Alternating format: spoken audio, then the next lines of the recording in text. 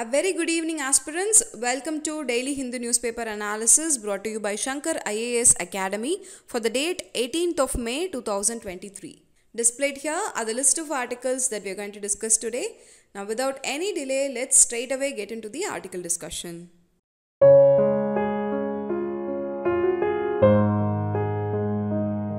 Now, look at this article here.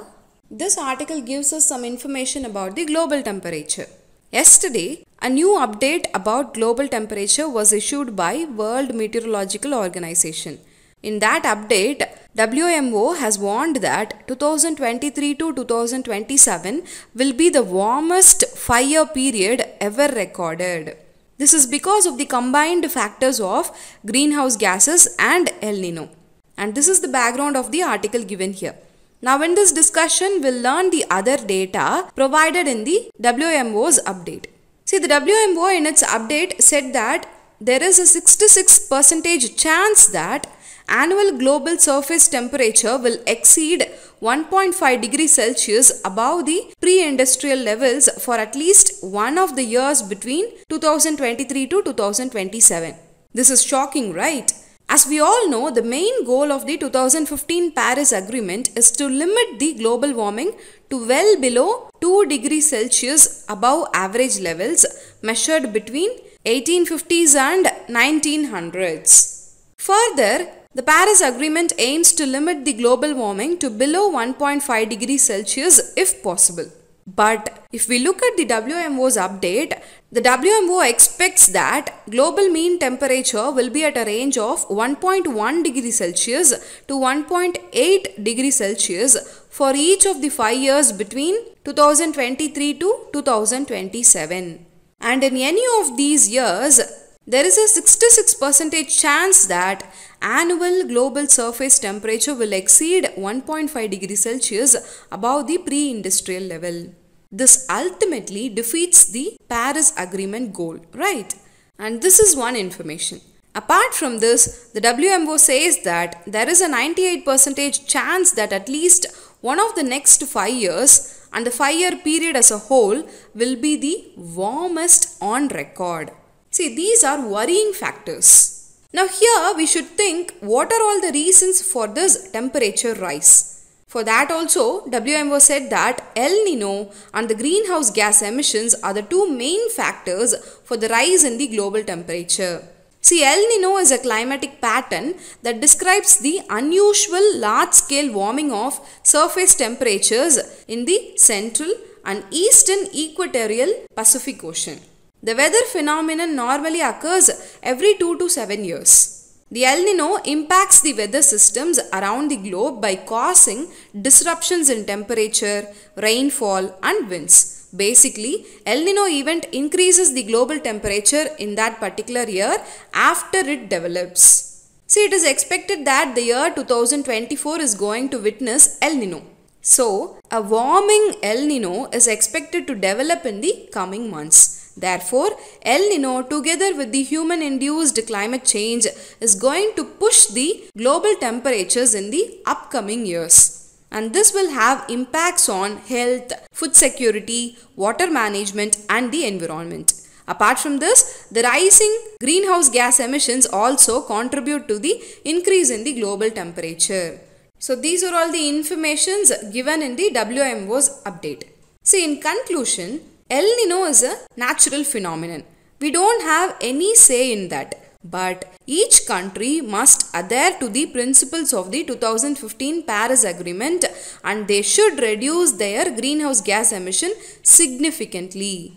If they do this, it will somewhat help us to prevent the increase of the global temperature. That's all regarding this discussion. In this discussion, we saw some points regarding the recent WMO's update and the reasons that led to the increase in global temperature. Now with these points, let us move on to the next article discussion. Now look at this editorial article here. In this article, the writer compares two recent judgments of the Supreme Court and how they are contradictory in nature. In this regard, we'll see about what are those two judgments and how they are in contradiction with one another. And finally, we'll see about the need to reclaim the accountability of government to the voters. But before that, the syllabus relevant to the article is highlighted here for your reference. Please go through it. See, the two judgments mentioned in this article are about the control over civil services in New Delhi and the case regarding the split in the Shiva Sena party. Now, let us look into them one by one briefly. First of all, we'll see the Delhi case. See, even though New Delhi is a union territory, it has a legislative assembly. The demarcation of power between the elected government of New Delhi and the central government is mentioned in the article 239AA of the Indian Constitution. As we all know, there is a constant tussle going on between the elected government of Aam Aadmi Party and the lieutenant governor. In this regard, a question has been raised. See, civil services in New Delhi would be accountable to whom? To the Delhi cabinet or to the union government? This matter went to the Supreme Court and the Supreme Court opined that civil services will have to report to the Delhi cabinet only. See, Supreme Court came to this conclusion because in parliamentary democracy, government is accountable to people. It also said that there should be triple chain of command. Now, what is this triple chain of command? In this command, the civil service officers they are accountable to the ministers, and the ministers they are accountable to the legislature, and the legislature is ultimately accountable to the electorate, that is the voters. So, Supreme Court said that any disruption in this chain of command will be against the principle of parliamentary democracy. And because of this reason only, Supreme Court gave such a verdict. And this is about the Delhi case. Moving on, now we'll see about the Maharashtra judgment. See, first of all, you should know some background information about the issue in Maharashtra. See, the Shiva Sena party has been split into two factions Uddhav Thackeray group and the Eknath Shinde group. The party called for a meeting of legislatures on 25th June 2022. During this meeting, Eknath Shinde and 11 other MLAs were absent. So the Deputy Speaker of Maharashtra issued notice to remove these MLAs from the assembly. See, the MLAs against whom the charges were initiated, they approached the court. The court granted time for MLAs to respond to the notice. The Deputy Speaker also appointed Ajay Chaudhary as leader of Shiva Sena Legislature Party. And this was challenged by Shinde Group by calling it unconstitutional and taken with bias. See, the plea also challenged the notice served on Shinde and his supporters for not attending the 25th June meeting. Meanwhile, the governor of Maharashtra asked Uddhav Thackeray to prove his majority in a floor test on June 2022. For this, Uddhav Thackeray approached the Supreme Court to set aside the floor test. But this plea was rejected by the Supreme Court. Supreme Court asked Uddhav Thackeray to prove his majority. After this verdict by Supreme Court, Uddhav Thackeray resigned. Eknath Shinde became the chief minister with the support of BJP. See, the Shinde group also issued its own resolution to remove Sunil Prabhu, who was the whip of the Shiva Sena party, and they appointed Bharat Gogawale in his place. The Speaker of the House also recognized this appointment, and this is the background of the issue. See, this matter was taken to Supreme Court again. The Supreme Court, in its verdict, said that Speaker's decision of recognizing Gogawale as a whip of the party is illegal.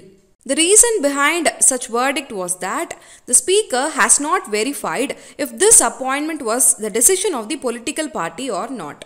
The Supreme Court also stated that 10th schedule of India makes a clear distinction between legislature party and the political party.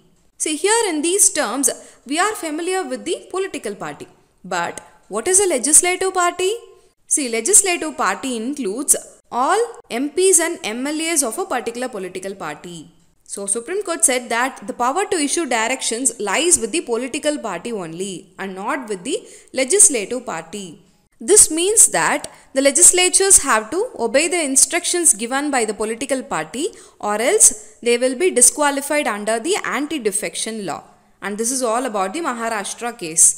Since we have discussed enough about these two cases, now we'll see how they are contradictory in nature. See, the Supreme Court on Delhi case gave priority to the principle of parliamentary democracy. It said that legislatures are ultimately accountable to the people who elected them. But on the Maharashtra case, it said that the legislatures are accountable to the political party. The Supreme Court said that defying the directions of a political party will amount to disqualification under the anti defection law. See, this particular judgment increases the hold of leader of a political party over the legislatures. See, the anti defection law undermines the scope of legislators' accountability to the people who elected them. In that way, these both judgments are contradictory to each other. Now, you may have a question here. Why Supreme Court gave such contradictory judgments? See, it is because in Delhi case, the Supreme Court had the scope to interrupt the constitution. But in the case of Maharashtra, it went by the clear language of the 10th schedule. The 10th schedule focuses more on the political stability rather than the accountability of the legislatures to the people who elected them. And this is not in line with the representative form of democracy that is followed in our country. That is why the author wrote about these two issues and the need to reclaim the accountability of the legislatures to the people. Now we'll see what is the need to reclaim the accountability of the legislatures. See, in a parliamentary democracy, the ultimate authority lies with people.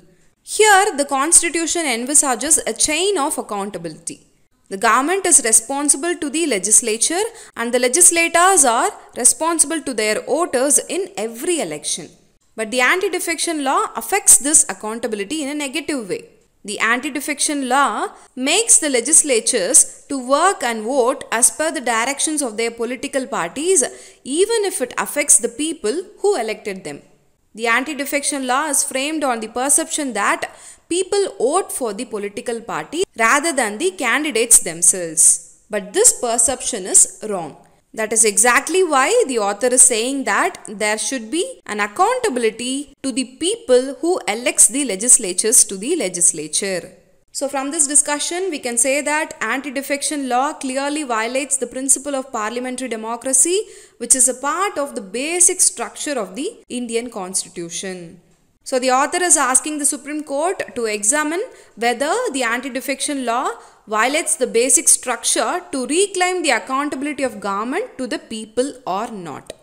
That's all about the discussion. In this discussion, we saw two judgments given by the Supreme Court and how it is contradictory with one another and the need for accountability of legislatures to the people. Now, with these points in mind, let us move on to the next article discussion. Now, we are going to take up this discussion based on an advertisement that is published in the newspaper today. See, this ad is basically a shout out to Jammu and Kashmir as it will be hosting the G20 Tourism Working Group meeting this year. This ad also talks about the digital governance initiative of the government of Jammu and Kashmir. In this context, we should use this opportunity to learn about the important digital governance initiatives of the Government of India and the benefits of each of these schemes. But before that, the syllabus relevant to the article is highlighted here for your reference. Please go through it. Now, first of all, we'll talk about the Digital India Mission because it is an umbrella program that covers multiple projects of central government as well as the state government. See, the Digital India campaign was launched by Ministry of Electronics and Information Technology. Its vision is to transform India into a digitally empowered society and a knowledge-based economy. Therefore, the main goals are digital access, digital inclusion, digital empowerment and bridging the digital divide. This means making sure that every citizen has access to digital technologies and can benefit from them. In order to accomplish this, many initiatives were brought under this program. We'll see what they are. First is the CSC, which is expanded as Common Service Center Scheme. See, CSCs act as access points in villages. They provide electronic services to create a digitally and financially inclusive society. Basically, these centers offer a wide range of services at the affordable prices. They provide video, voice, and data content. They cover areas like e governance, education, health, telemedicine, and entertainment. Know that they also assist with private services.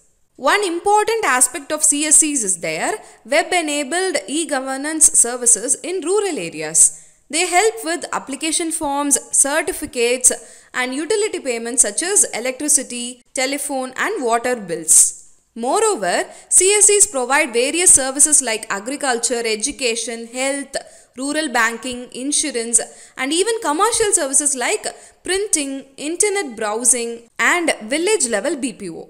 And this is about the CSCs. Next in line, we have the Umang app. See, Umang app stands for Unified Mobile Application for New Age Governance. It is actually a mobile app that brings many government services on a single mobile app. The larger goal here is to make the government services accessible on the mobile phones. The services include Aadhaar, DigiLocker, and Bharat Bill Payment System, among the others. It also provides access to over 1200 services of various government organizations in state and at the center as well as utility payments. See, using the app, citizens can even access Employees Provident Fund Organization services. They can apply for a new PAN card and so on. Know that the app supports 13 Indian languages. Its user-friendly interface ensures easy navigation and seamless access to government services. And these are the services offered by Umang. You just go through it, okay? Next in line, we have the DigiLocker initiative. See, basically, DigiLocker is an electronic storage space. So, it allows individuals to keep their documents in a digital format. This makes them easily accessible and verifiable also. Users can store documents such as insurance, medical reports, school certificates, and more. The locker is accessible through a mobile number. And the DigiLocker can also store a URI link of e-documents issued by various departments. This makes it a secure and convenient way to manage important documents. And then we have the UPI. See, UPI stands for Unified Payments Interface. We all know it is a mobile based payment system in India. So it allows the customers to make instant payments anytime using a virtual payment address they create. See, VPA is something that serves as a unique identifier. It basically replaces the need to share sensitive bank account details when making payments. This eliminates the risk of exposing bank account information to other people. And this is about the UPI. And next we have CoWIN app. See, CoWIN is a cloud-based IT platform designed for India's COVID-19 immunization program.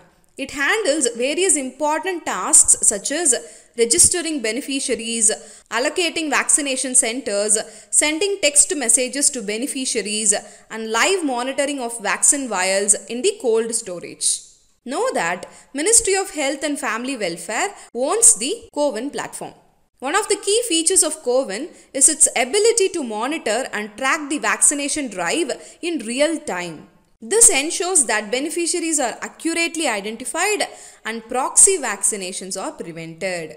Apart from what we saw till now, we also have My Government Initiative.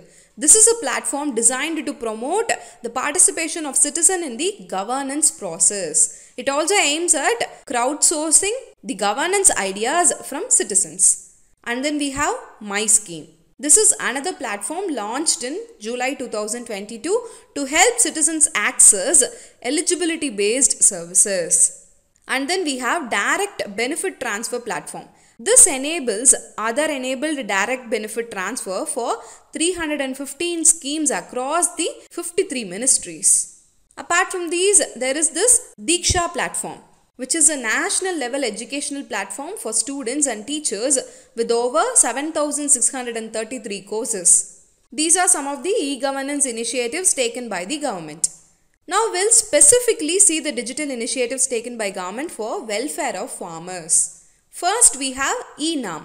So it is an electronic trading platform for agricultural products. It connects the agricultural produce market committees across the states in India. The platform enables contactless remote bidding and mobile based anytime payment. See, this means that traders hereafter no need to visit the mandis or banks to complete the transactions. This is about the ENAM. And then we have the soil health card scheme. See, it was introduced by Ministry of Agriculture and Farmers Welfare. It provides farmers with a printed report. This report contains information on the nutrient status of their soil and recommendations for improving its fertility and health. See, the card include details such as pH, electrical conductivity, organic carbon, nitrogen, phosphorus, potassium, sulfur, zinc, boron, iron, manganese and copper. See, farmers receive the card every 3 years. This allows them to apply the recommended nutrient doses based on the soil test values for better soil health. See, the card is available in 21 languages and can be printed from the Soil Health Card portal. And this is about the Soil Health Card scheme. And finally, we'll see about the M4 Agri, which stands for Mobile Based Advisory System for Agriculture and Horticulture. As the name suggests, it is a mobile based advisory system for the agriculture and horticulture. It has been implemented in the northeast states namely Tripura, Mizoram, Manipur, Meghalaya, Sikkim and Arunachal Pradesh. See, these are some of the important digital governance initiatives of the Government of India. Take note of all the points that we saw in this discussion. It will be very useful in your mains exam. Now with these points, let us move on to the next article discussion. Now look at this article here. See, the Union Cabinet has approved an updated production linked incentive scheme for IT hardware manufacturing in India. The total budget of the scheme has been more than doubled to 17,000 crore. And this shows that the government is trying to boost electronics manufacturing in the country. So using this context, let us learn about the PLI scheme that is the production linked incentive scheme. See, the PLI scheme was introduced by Government of India and it is aimed at promoting domestic production and reducing the imports. It provides performance linked incentives to the businesses. For what reason they are giving incentives? For increasing the sales of goods manufactured in India. See, the scheme aligns with Make in India initiative and it encourages both foreign and domestic companies to expand their production and exports. For example, let's consider the automobile industry. Under the PLI scheme, automobile manufacturers are offered incentives based on incremental sales. This means that if a company increases its sales compared to the previous year, it becomes eligible for the incentives. This encourages companies to produce more vehicles domestically. So, this will not only boost the employment opportunities but also reduce the country's reliance on imported automobiles. See, the eligibility criteria for availing the PLI scheme differs across sectors. To be eligible, companies must have a registered manufacturing unit in India. The minimum investment requirements also vary depending on the sector, such as rupees 10 crore for micro, small and medium enterprises and rupees 100 crore for others and approximately rupees 1000 crore for investment oriented companies. See, so far the government has announced PLI schemes for 14 sectors. The 14 sectors are mobile manufacturing, manufacturing of medical devices, automobiles and auto components, pharmaceuticals, drugs, specialty steel, telecom and networking products, electronic products, white goods such as ACs and LEDs, food products, textile products, solar PV modules, advanced chemistry cell battery, and drones and drone components. See, the scheme shall extend an incentive of 4% to 6% on incremental sales of goods manufactured in India. And this incentive will be given for a period of 5 years. Now, let me explain this with an example. Imagine there is a company called XY and it manufactures electronic devices like smartphones in India. Under the PLI scheme, XY would be eligible for incentives based on their incremental sales, which means that there should be an increase in sales compared to a base year. Let us say in the base year, XY sold 1 lakh smartphones. Now in the following year, XY manages to sell 1,20,000 smartphones, then they would be eligible for the incentives on those incremental units sold, that is 20,000 smartphones. The incentives provided would be in the range of 4% to 6% of the value of those 20,000 additional smartphones. And this is about the PLI scheme. Now, before concluding our discussion, we'll see what is the significance of this scheme. Firstly, PLI scheme serves as a boost to domestic manufacturing. See, PLI scheme encourages companies to increase their production capacity. This contributes to reducing the country's reliance on imports and it strengthens the Make in India initiative. Secondly, it helps in creating employment opportunities. See, PLI scheme incentivizes companies to expand their manufacturing facilities. So, the scheme generates more job opportunities across various sectors. Thirdly, it will help in reducing import dependency. As I already said, the scheme encourages domestic companies to increase their production and compete globally. Therefore, it helps to decrease the need for importing goods from other countries. Fourthly, it will also encourage technological advancements. See, to qualify for incentives, companies need to enhance their production capabilities, right? So, this often involves adopting advanced technologies and practices. And finally, it will also help in attracting the foreign investment. And these are all the significances of PLI scheme. See, in this discussion, we saw about PLI scheme, how incentives are given to various sectors and the sectors for which the government has announced the incentives. And finally, we ended our discussion by seeing the significance of PLI scheme. Now, with these points, let us move on to the next article discussion. Now look at this article from the text and context page. This article is about the benchmark rates used by the banks. On May 12, RBI has issued an advisory to banks and other RBI regulated entities. The advisory is to take steps to ensure complete transition away from LIBOR from July 1, 2023. See, RBI advised banks and other financial institutions not to do any financial deals using LIBOR. So what is this LIBOR and why RBI has advised to move away from LIBOR? This is what we are going to learn in this discussion. Now first let us take LIBOR. LIBOR is expanded as London Interbank Offered Rate. It is a global benchmark interest rate that is generally submitted by leading UK banks. It is used by major global banks to lend to one another in international interbank market for short term. So it is basically an interest rate used by international banks for lending one another for short term loans. Apart from this, LIBOR is also used as a benchmark rate to settle trades in futures, options, swaps and other derivative financial instruments in over the counter market and on stock exchanges globally. Here, over the counter market is nothing but a decentralized market in which market participants trade the stocks, commodities, currencies, or other instruments. Here, the trade happens directly between each other and they do not rely on a central exchange or broker. And this is what is called as over the counter market. Now, coming back to LIBOR, see, apart from lending and trade settlements, Consumer lending products including credit cards and student loans, they also use the LIBOR as a benchmark rate. Now what is the problem with this LIBOR? In 2012, it came to light that many global banks had plotted to manipulate the LIBOR. As I said earlier, LIBOR is submitted by leading UK banks. See what they did was the banks took the request of the traders and submitted artificially low LIBOR rates. The intention behind the malpractice was to increase the profits of the traders who were holding positions in the LIBOR based financial securities.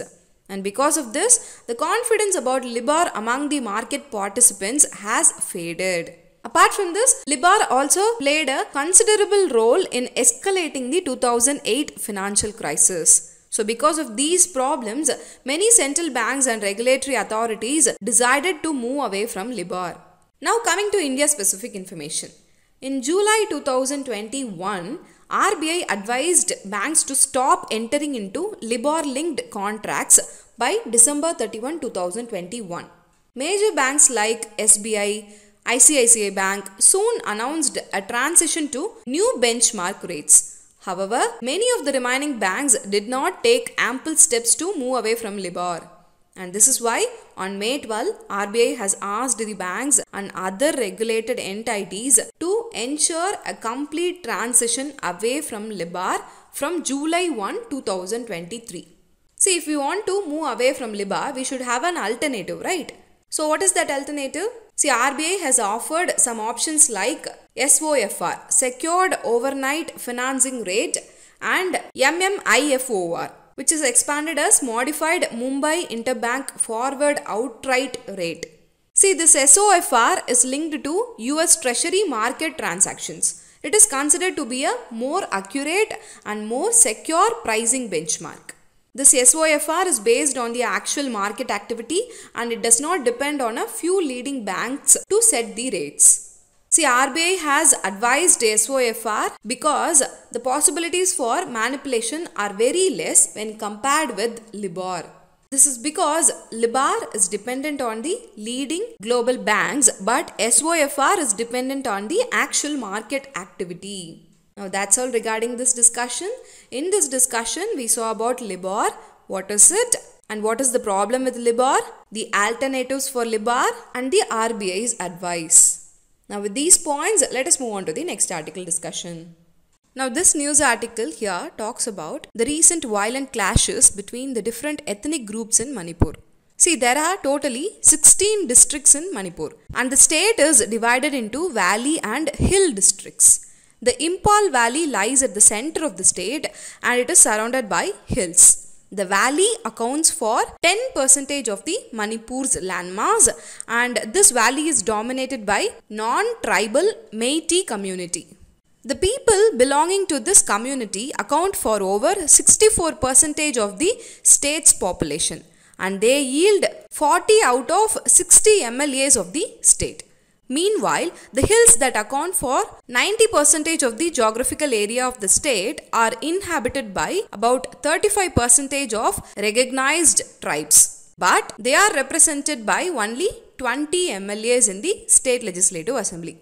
See, the majority of the Meiteis are Hindus, followed by Muslims. But the 33 recognized tribes who are broadly categorized as Naga tribes and Kuki tribes, they are mainly Christians. Know that more than 30 communities have been listed as scheduled tribes in Manipur and they all broadly belong to either Kuki community or Naga ethnic groups. No such recognition has been granted to Meitei community who live in the plains. Now this is the point of contention between these groups. See, despite adequate representation, since the year 2012, there has been constant demand led by Scheduled Tribes Demand Committee of Manipur for granting Scheduled Tribe status to the Meitei community. In pursuit of this, the Meitei Tribe Union recently filed a petition before the Manipur High Court to extend the ST status to the Meitei community also. The petition argued that Meitei community was once recognized as a tribe before the merger of princely state of Manipur with the Union of India in 1949. So the petition said that Meitei community lost its identity as a tribe after the merger. The petition further argued that the community has been victimized without any constitutional protection and they have been gradually marginalized in their own ancestral land. The petition also states that their population has reduced from 59% of the total population of Manipur in 1951 to 44% as per the 2011 census data. So the petitioners demanded to extend the ST status to Meitei community also. This is to preserve the community and save their ancestral land, tradition, culture and language. In response to this petition, Manipur High Court on April 19, 2023 asked the Manipur government to submit a 10-year-old recommendation to the Union Tribal Affairs Ministry for the inclusion of Meitei community in the ST list. In other words, the court has directed the government to consider the inclusion of Meitei community in the tribe list of Manipur. On the other hand, the demand for ST status for the Meitei community has been opposed by the other tribal groups of the state. See, other tribal groups, they argue that Meitei community already is more advanced than other tribal groups academically and in other aspects also. They already have a demographic as well as a political advantage. They believe that if ST status is granted, Meiteis will be allowed to acquire land in the hills also and this would ultimately result in the loss of employment opportunities and it would push the tribal people out of the hills. So following the April 19th directives of Manipur High Court, the All Tribal Students Union of Manipur called for a tribal solidarity march. The march was organized in protest against the demand for inclusion of Meitei community in the ST category. However, violent clashes broke out at various places during the march. The situation in Manipur turned extreme. So, Indian Army and other central police forces were deployed. The Manipur government also authorized all district magistrates to issue shoot at sight orders in extreme cases in order to control the situation. See, Supreme Court has regarded the Manipur crisis as a humanitarian problem and it noted that it is the president who has the power to designate a community as a scheduled caste or scheduled tribe and not the High Court. Currently, the center is working to restore peace in Manipur and the Union Home Minister also said that the order passed by the Manipur High Court will be studied and discussed with all stakeholders and appropriate decisions will be taken after consultation. And this is regarding the article given here. See, in this discussion, we saw why violent clashes broke out in Manipur and what are all the reasons behind it. Take note of all of the points. As a UPSC aspirant, you should be knowing about the recent events happening in India, right? And that's why I took this article for discussion today. Now, with these points, let us move on to the next article discussion. Now, look at this article. This news article speaks about the partnership between IIT Madras and Israeli government to ensure water security in India. See, India Israel Water Center will be established within the campus of IIT Madras and this new center will aid in the Amrut mission of Ministry of Housing and Urban Affairs. Now in this regard, we'll see about Amrut mission and Amrut 2.0. First of all, let us see about the Amrut mission. See, Amrut mission was launched on 25th June 2015. Amrut stands for Atal Mission for Regeneration and Urban Transformation. See, the main objective of this mission is to provide basic services to households and basic amenities in cities. Now you may have a question here. Does this scheme covers all cities in India? The answer is a big no. This scheme covers 500 cities and it has certain conditions for the selection too. See, the categories of cities selected under Amrut includes cities and towns with population over 1 lakh and notified as municipalities as per the 2011 census. And it includes all capital cities, towns of states and union territories not covered in the first criteria. It also includes cities and towns classified as heritage cities under Hriday scheme. It also includes 13 cities and towns on the bank of important rivers with population above 75,000 and less than 1 lakh. Finally, it also includes 10 cities from hill states, islands and tourist destinations. See, the components of Amrut includes capacity building, reform implementation, water supply, sewerage, septage management, stormwater drainage, non-motorized urban transport and development of green spaces and parks. This is about the basics of Amrut mission. Next, we'll see about the outcomes of the Amrut mission. Under the scheme, 4,932 projects worth of 37,926 crore have been completed. Know that 134 lakh water tap connections and 1 or 2 lakh sewer connections have been provided under this scheme. See, this Amrut mission was subsumed under Amrut 2.0. Now we'll see what is Amrut 2.0. Amrut 2.0 was launched on 1st October 2021. The duration of this scheme is 5 years and the total outlay for Amrut 2.0 is 2 lakh 99,000 crore. The main aim of the Amrut 2.0 is to provide universal water connection through functional water taps to all households in 500 cities covered under the Amrut mission. See, it will also promote circular economy of water.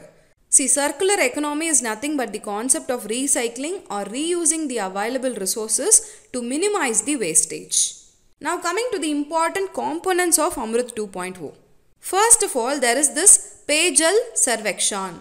See, Payjal Sarvekshan will promote competitiveness among cities for benchmarking the urban water services. Next, the Amrut 2.0 emphasizes on community participation. It emphasizes on community participation with special focus on women self-help groups and this is the second component. Thirdly, when it comes to funding, Amrut 2.0 provides outcome based funding. And finally, the scheme relies on evidence based evaluation of the outcomes using online monitoring platform. And these are all the important components of Amrut 2.0. First one is Payjal Sarvekshan, second one is community participation with special focus on self-help groups, third one is outcome based funding and the final one is evidence based evaluation. Now that's all about this discussion. In this discussion we saw about Amrut mission, its components, outcomes, Amrut 2.0 and its components. Now with these points in mind, let us move on to the next part of the discussion that is the practice prelims question discussion. Today we have 5 prelims questions. I will solve 4 of them and one of them is a quiz question for you. Now let us take this first question. With reference to El Nino, consider the following statements. Statement 1. It is a climatic phenomenon that describes the unusual large scale warming of surface waters in the eastern Indian Ocean. See, this statement is incorrect. We all know that El Nino is a climatic pattern, but the unusual large scale warming of surface temperature is in central and eastern equatorial Pacific Ocean. So it is not associated with the Indian Ocean. The second statement says that El Nino event is associated with good rainfall during the monsoon season in India. See, this statement is also incorrect. Due to El Nino, the warming in the Pacific Ocean causes changes in the atmospheric patterns. This leads to weakening of the monsoon circulation over the Indian subcontinent. As a result, the Indian monsoon tends to be weaker and less reliable during the El Nino years. Now the third statement says that it does not have a role in the global temperature rise. The statement is also incorrect. El Nino is one of the main factors of the global temperature rise. In our discussion about the WMO's update also we saw the same factor only. Now the question here asks us to find the incorrect statements. So the correct answer is option D 1, 2 and 3. Now moving on to the second question. Which of the following are the sectors under the Production Linked Incentive Scheme? Mobile manufacturing, drone technology, white goods, textiles, telecom. See, from our discussion itself, we know that all of these sectors comes under PLI scheme. So the correct answer is option D, 1, 2, 3, 4 and 5. Now moving on to the third question. The question says that the term secured overnight financing rate sometimes in news is related to which of the following? Option A says that it is the rate at which the RBI lends to the scheduled commercial banks to meet their overnight financial requirements. Option B says that it is a benchmark interest rate submitted by the leading banks of the United Kingdom and it is used to settle trades on stock exchanges globally. Option C, it says that it is a secured interest rate that is related to US Treasury market transactions and it was established as an alternative to London Interbank Offered Rate. And option D, it says that it is the rate at which the International Monetary Fund provides short-term loan for its members to address the immediate financial stress. See, from our discussion itself, we know that SOFR is used as an alternative to LIBOR. From this information itself, we know that the correct answer is option C. Now moving on to the fourth question. Consider the following statements. Statement 1. The Meitei community follows the Sanamahism religion which is indigenous to the region. Statement 2. Lai Haraoba is celebrated to please the traditional deities of Sanamahism. See, before attempting the question, we'll understand about the community first. See, Meiteis are a group of people who speak Manipuri in the Manipur state. Manipuri is listed as an official language under Schedule 8 of the Constitution. Know about this, okay? See, the Meitei people are divided into two clans, and the members of the same clan do not intermarry. An interesting aspect of the village's socio-economic organization in Meitei society is the Marup system. It literally means friendship association. It is a type of cooperative saving and credit institution. Rice cultivation on irrigated fields is the basis for their economy. Inafi and phanek are the Manipuri traditional dress for women in Manipur. Manipur men wear their traditional costume dhoti with a jacket. See, these are all some basic information about the Meitei community. They do not intermarry between their clans. There is an interesting socio-economic organization called Marup system and it is a type of cooperative saving and credit institution and the basis of their economy is the rice cultivation. Now about their religious affairs. See, they are predominantly Vaishnavite Hindus, but even before the advent of Hinduism, they practiced their own religion known as Sanamahism religion. Lai Haraoba is a festival celebrated to please Sanamahism. It is celebrated to honor the Sylvan deities known as Umang Lai.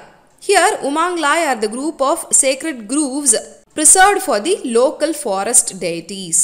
So, regarding the question, both the statements are correct. So the correct answer is option C, both 1 and 2. Now moving on to the final question. See aspirants, this is only the quiz question for you.